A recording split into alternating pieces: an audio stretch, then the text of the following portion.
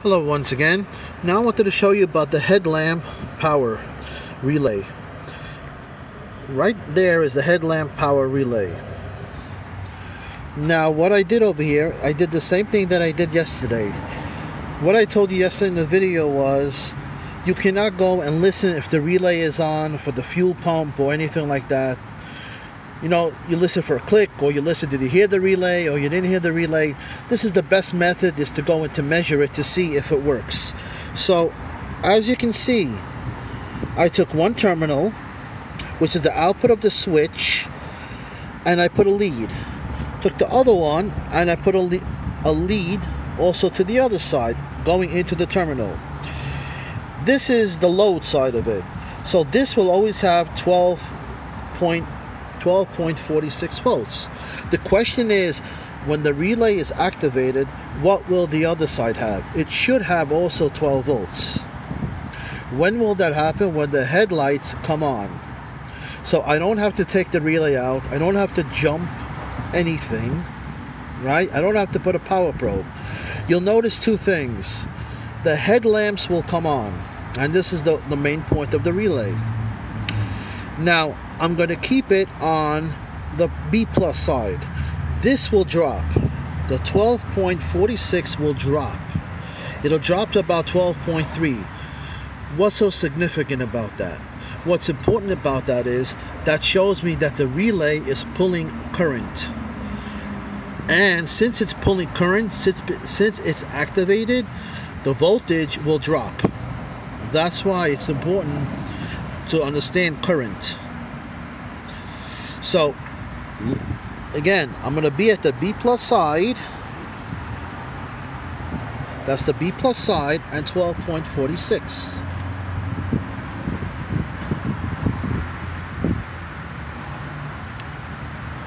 Okay. Headlamps are on. Look how much it dropped. It was 12.46, even less than 12.3. It was 12.46. Now it dropped to 12.06. What does that mean? That means there's current flowing through that load circuit through the headlamps and that's why it drained or it brought down the 12.4 let's go to the other side the output of it and measure it. Before we had zero right? Because the switch wasn't active.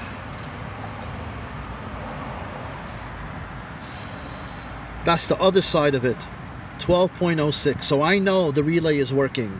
How do I know? Because I went to the other side of it. See? This was let's say the B plus side. This is the output. Or the load side of it. That tells me the relay is working. The 12.06 tells me current is being drawn and there's a complete path to ground and the relay is active. Because if not it'll go back up to 12.4. That's why it's important. I always teach current. You see that you can test the relay in circuit and it's the only proper way to do it. That like I did with the fuel pump yesterday with the video. Don't take out the relay. Measure it. Put these across the terminals. This is 87. This is 30, 87. 87, 30 over here you want to go to the output. This is the true, true, true value in circuit what you're measuring. Okay, let's go back to the other side. Look, 12.07. See, the headlamps are working now. Let me turn off the headlamps. Watch it go back up.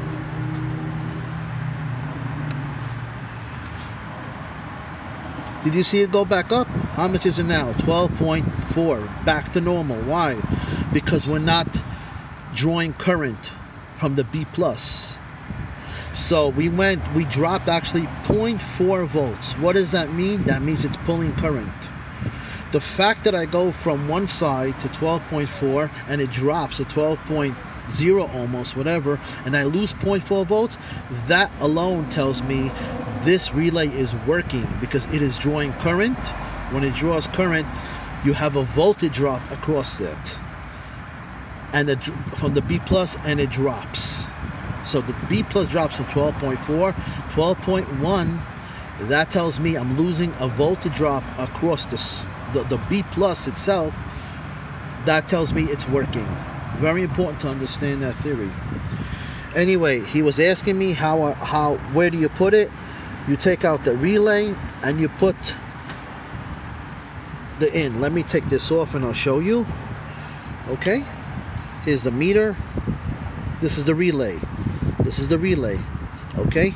What I did was I just put a jumper into the terminal, into the other terminal. You don't have to push this all the way in because uh, as long as I make contacts with this, it's good. You saw that, right? So anyway, this is the true way. Any any relay to measure for fuel pump relay, for the headlamp, for the starter motor, anything. This is the proper way to measure the relays. Do not take a relay out by jumping it. Do not take, uh, uh, you don't need a power probe. I hope this was clear. And again, the other video that I did about the mass airflow sensor with the scope maybe was a little uh, um, not not focused and all that. But the gist of it was you have to look at the signal. Do not look at the DC volts with the multimeter. All you're going to measure is the reference. It's useless. Always put a signal on it. Now we'll go on to the next one.